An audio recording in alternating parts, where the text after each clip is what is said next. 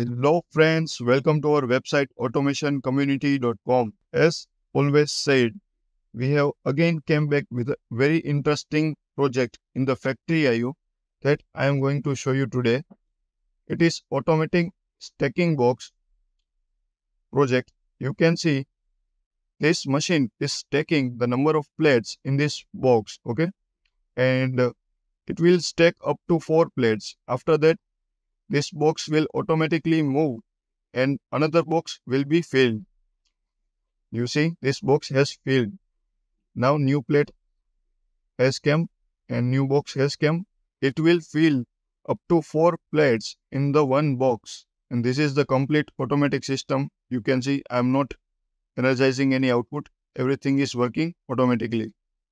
So this is our today's project that we are going to learn automatic stacking machine or we can say automatic pick and place robot. So we are going to see its factory IO designing and its ladder logic in Siemens TIA portal. So first you see how the complete process is working. Okay.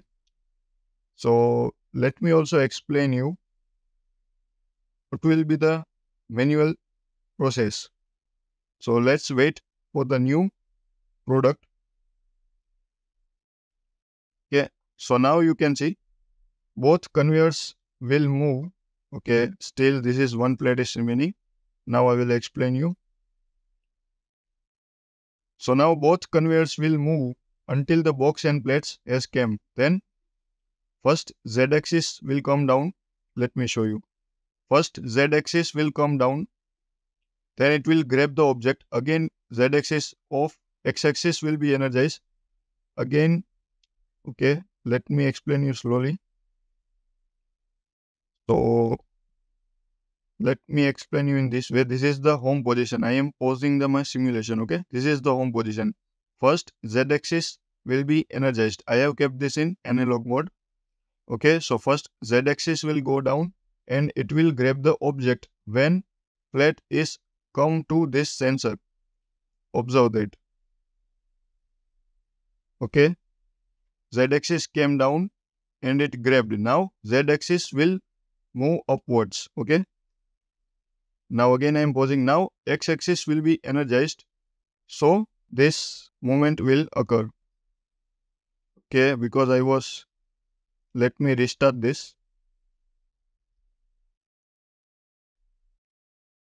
So when both objects are came, then only auto cycle will occur. So now x-axis advance then Z will come down and it will release the product.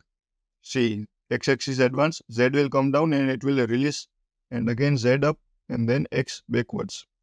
So this is simple but automatic process we are going to see today.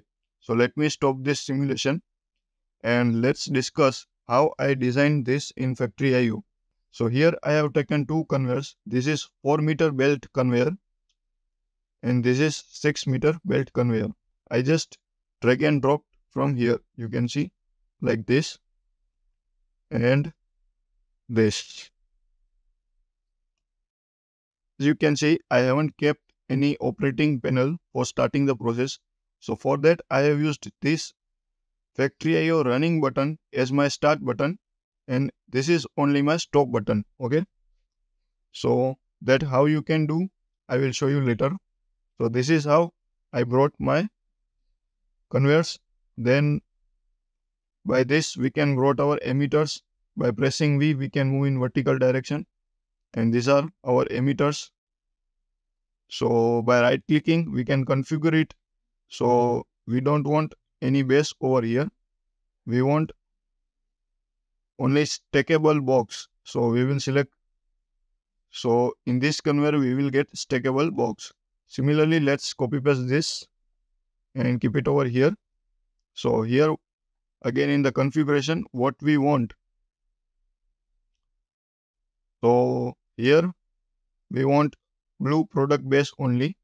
So in this way, here only plates will come and here only stackable box will come.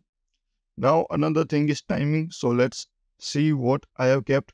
I have kept timing as 1 1 or box and For plate also I have kept 1 1 timing in my project. Okay. Now similarly we will get our remover. Now in my project I keep emitter and remover as forced. You can see by default it is not forced. It will be like this. If it is like this, uh, we have to force it so that we don't require PLC output to turn this object on. So I will keep it force, okay, in my project. Now there are the two sensors. Uh, this to sense the plate and this one to sense the box. So that is also you can get it from here. This is that, that sensor. By pressing V, we can move in vertical direction and we can place it over here. But similarly, just copy paste this and we can place it over here. Then by pressing Y, we can rotate this. Okay. Okay. Let me show you. Pressing Y, I can rotate it like this. So here I will keep. Now, uh, we have to see setting of the sensor is very important in our project. So before that, uh, what we have to do, uh, we need this pick and place object. Okay. So how I wrote that first, this is that pick and place object. Let me see if I can place it over here or not. So then I will configure it in analog mode and I have to rotate this. Yeah. So for that first So this is how you can see I uh, brought all my objects. Now let me delete all this.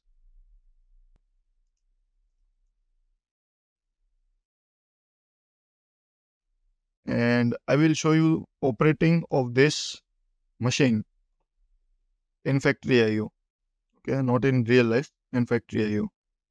So what I will do, uh,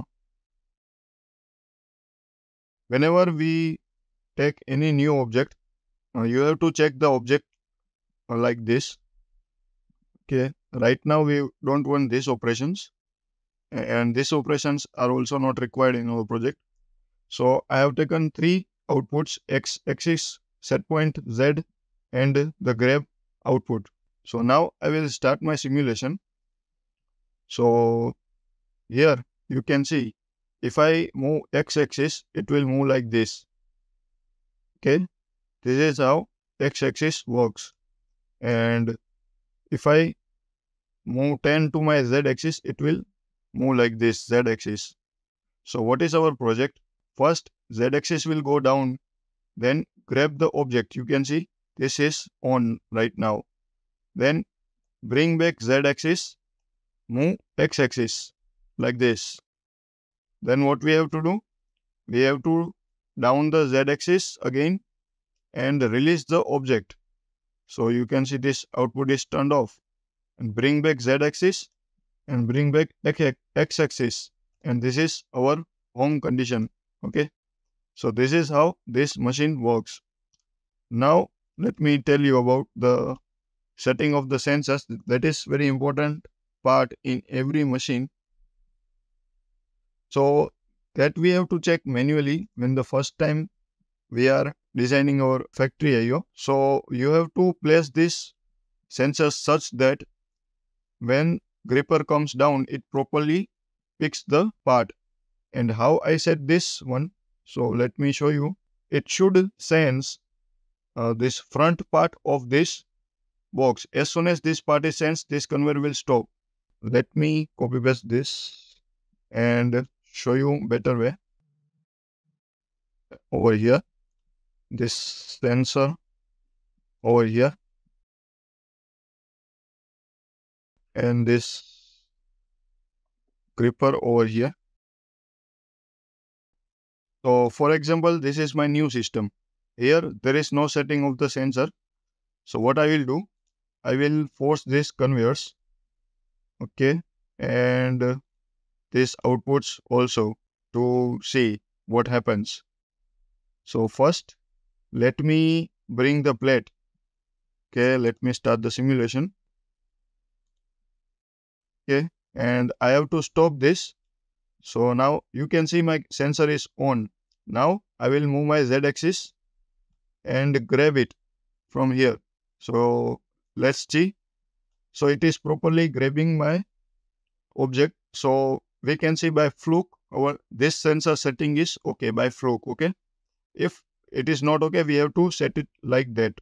Uh, where to place this sensor. Okay. Now I will have to move box. Okay. For that I need some different angle. Okay. Now let's move the box. I should move box up to this. Okay. This means this sensor should be placed over somewhere over here. So I have to stop this. I will move this over here. So first let's bring our plate. It should stop like this. Automatic it will stop like this. Now bring our box. It should stop like this. Now I will move z-axis, grab it and move z-axis back. Now x-axis up to this value. Okay, for this, again we have to change our angle. Okay, now it looks fine. Uh, we have to move it up to 8.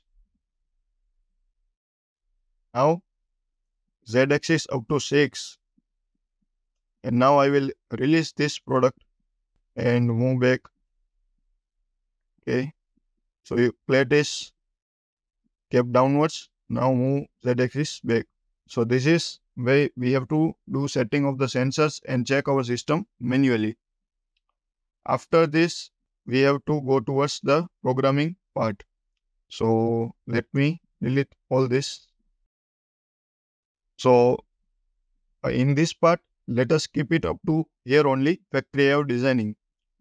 So in the next part, I will show you its ladder programming in detail. Thank you for watching guys. If you want to see more examples like this, show your interest by liking and subscribing our YouTube channel. Meet you in the next video.